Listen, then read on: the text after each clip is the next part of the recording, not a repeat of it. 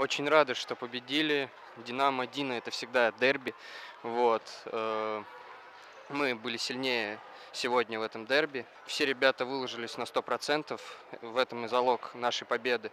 Э, мы проанализировали прошлую нашу игру, э, вывели все ошибки и добились результата нужного нам.